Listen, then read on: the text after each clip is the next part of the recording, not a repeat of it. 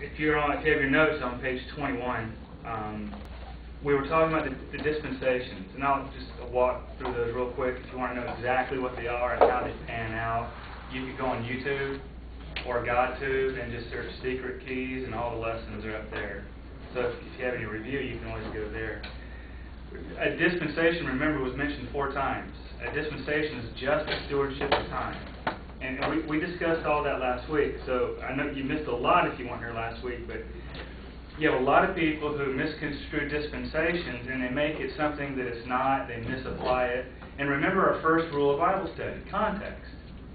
As with all of these rules, you have to keep it in context. You cannot take numerology and fly off into right field with and make it say something you want it to say. You've got to keep it in the context of Scripture, the direct um, application, and the overall theme of the Bible, which we'll get into that into a later rule.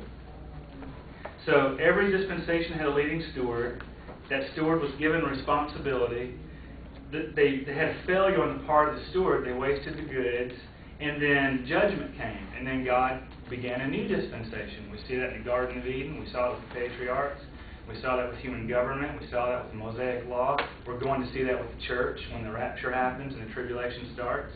That's all that is is periods of time that God dispenses truth. Another way to look at it is progressive revelation. In the Mosaic Law period, they weren't given the whole Bible yet. They only had the parts that they were given. So that's what they were responsible to. That would be a dispensation. Um, so I'm going to look at some so-called contradictions. And whenever someone brings up what they believe to be a contradiction to you, it's always God just going to get your attention. That's all it is. It's not a true contradiction. It's just an apparent contradiction. And here are some of the more common that they use. On page 21, um, the first one is Leviticus 11, 9 to 11 seems to contradict 1 Timothy 4, 4. Now let me read Leviticus. These shall ye eat of all that are in the waters, whatsoever hath fins and scales in the waters, in the seas, and in the rivers, them shall ye eat. And all that have not fins and scales in the seas, and in all the rivers, of all that move in the waters, and of any living thing which is in the waters, they shall be an abomination to you. So, in that passage, it looks like God says, stay away from those those those types of things. So, let me get this out of the way. I'll give that to you in just a minute. But what does the passage say in, um, and I lost it here. It should be on page 22, and I can't find my 22. Okay, Leviticus 11:11. They shall be even an abomination unto you. You shall not eat of their flesh, but ye shall have their carcass in, abomin- in abomination. But what does 1 Timothy say? For every creature of God is good, and nothing to be refused if it be received with thanksgiving. So over here in the Old Testament, we're saying stay away from these types of animals, and over here in the New Testament, it says you can eat them. Well, what's the difference here? We're in a different dispensation. That, that's it. That's, that's the answer. So don't- be afraid of dispensations. You'll get a lot of preachers that get up front of the pulpit and say, dispensations, poo-poo this, poo-poo that. No, no. There are a lot of people that do not explain it correctly, but dispensations are the way you understand the Bible. You can't understand the Bible without understanding your dispensations. That's what it means when it says, Study to show thyself approved unto God. A workman needs not to be ashamed, rightly dividing the word of truth. You're dividing your dispensations to find your correct doctrine for certain periods of time. And that's why we know that we're not bound to the Mosaic Law period, because right here in the church age dispensation, he says, eat it. Might not be good for you, pork and all that other stuff. And there's a reason God said stay away from it, by the way, but you're free to eat it. So understand that. These are the dispensations which defines these doctrines. Colossians 2.16 seems to contradict Exodus 28. In Colossians it says, "Lo- Let no man therefore judge you in meat or in drink, or in respect of an holy day, or of the new moon, or of the Sabbath day. So he says, you know, don't let anybody tell you what to do on those days. That's basically what he's saying. What does Exodus 28 say? Remember the Sabbath day to keep it holy. Now, there's a difference between the Jewish Sabbath and what we call a Sabbath. But remember, Sabbath is Saturday, period. Still Saturday today. It's not Sunday. Sunday is a day of new beginnings. It was the day of a new dispensation. It was the day that, that God chose to signify that He had changed dispensations. So, what is the Sabbath for the believer? What do you think the Sabbath is for the believer? Now remember, he had to make a specific day for the Jewish nation because they were rebellious, they were stiff necked, they didn't want to do what they're told, and he had to give them specific rules to govern what they did, or they wouldn't do it. Now we're in the age of grace, which means what would be our Sabbath? Go ahead. Literally every day because it's the day that we, we worship and we glorify God and to do that every day of our life. Right. I'm, I'm, I'm to signify the Sabbath when I cut my yard. I'm to signify the Sabbath when I do the dishes.